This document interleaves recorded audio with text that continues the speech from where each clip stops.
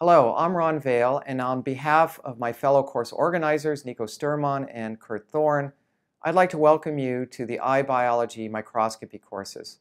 We have two courses on offering for you. One is a comprehensive microscopy course where we start off with the basics of how light and lenses work.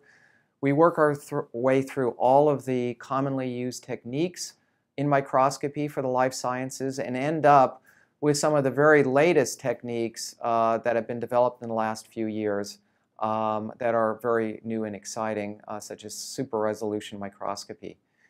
We also are offering an introductory course, which is much shorter and provides a general overview of the basic techniques.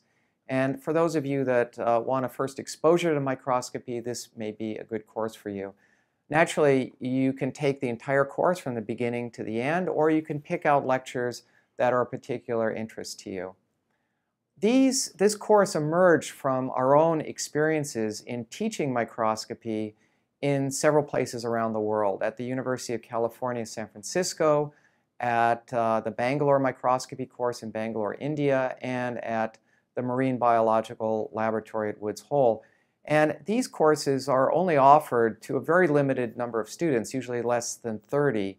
Uh, but there's a tremendous need around the world for understanding how microscopy works because it's become such a critical tool in life science research. So through these videos, we hope to offer microscopy to anyone in any location around the world so they can understand how microscopy works. Uh, naturally, through, through these videos, we can't offer you a microscope uh, so that you have a chance to use one, but we have uh, gone in and filmed uh, in a laboratory at a microscope so you can see how mi microscopes are used in practice in many of these different types of techniques. So we hope you enjoy these videos and we also would welcome any feedback that you have. Thank you.